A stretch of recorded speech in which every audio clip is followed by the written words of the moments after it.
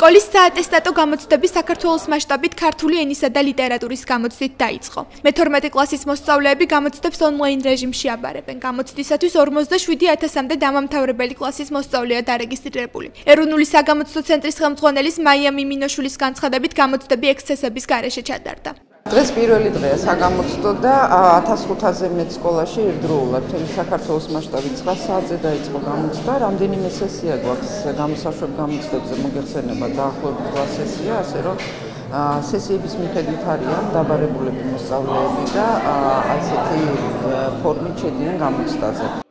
გამოცდები კომპიუტერის გამოყენებით ტარდება. საგამოცდო ოთახები სპეციალური ტექნიკით არის აღჭურვილი. 133 საჯარო სკოლის დირექტორის ლიანა ფუტკარაძის განცხადებით, გამოცდების პირველმა დღემ ყოველგვარი დარღვევის გარეშე ჩაიარა.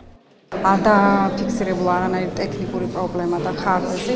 ზოგადად სისტემა არის აბსოლუტურად გამართული, როგორც ტექნიკურად, ასევე ლოჯისტიკურად. წარმატებებს ვუსურვებ ყველა ჩემს კურსდამთავრებულებს, ასევე საქართველოს მასშტაბით ყველა მე-12 კლასელებს წარმატებებს ვუსურვებ ცხოვრების ყველა ეტაპზე.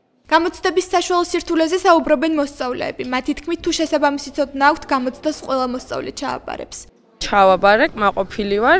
მოლოდინები გამიმართლა და არც ძალიან რთული, ანუ არც მარტივი, ჭირდება ცოდნა და რა ვიცი, ველოდები მომავალ დღეებს და ვფიქრობ, რომ ასევე წარმოტებით ჩავაბარებ. ნერვულობა რა თქმა უნდა არის ყოველ გამოცდას თანზევს, ეს ყველა აბიტურიენტს ექნება სავარაუდოდ გამოცდილი.